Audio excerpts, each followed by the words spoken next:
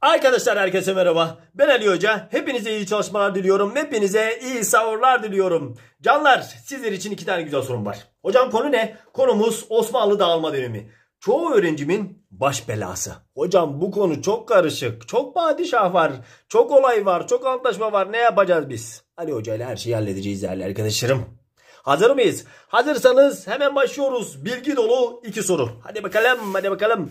İlk önce Metternich sisteminden başlayacağız. Hocam Metternich sistemi de ne? Metternich sistemi Viyana Kongresi demek değerli arkadaşlarım. Viyana Kongresi'ni toplayan kişi Avusturya Macaristan İmparatoru Metternich olduğu için böyle bir isim vermişler. Şimdi soru bizden ne istiyor hocam? Viyana Kongresi'ne katılan kutsal ittifak yani dörtlü ittifak devletleri arasında aşağıdakilerden hangisi yer almaz? Bunun hakkında çok soru çözdük. Ve ben sizlere ne demiştim?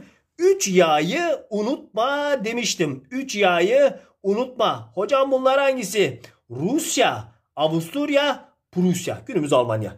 Üçü de var. Peki Viyana Kongresi amaç neydi? Çok uluslu yapıyı korumak değil miydi?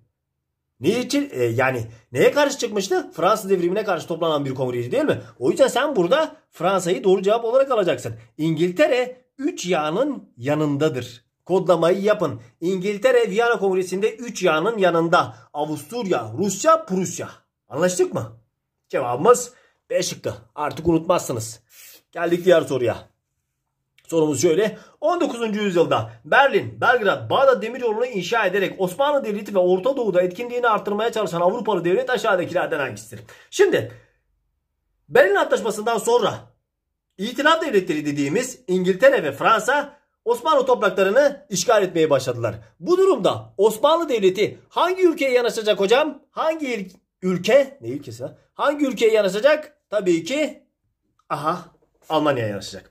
Ruslar Osmanlı'yı en çok uğraştıran devlettir. Panslavizm politikasını devam ettiriyorlar. İngiliz ve Fransızlar bunlar Mısır'ı işgal ederken bunlar da Tunus'u işgal ediyor. Peki hocam bu ne yapıyor? 1791 Ziştofya Antlaşması'ndan sonra Osmanlı ile arasını iyi tutuyor ve 1. Dünya Savaşı'nda müttefik oluyorlar. Cevabımız Almanya olacaktır ki unutmuyoruz Almanya ve Avusturya 1. Dünya Savaşı'nda Osmanlı'nın yanında yer alacaklardır. Sorular bu şekildeydi.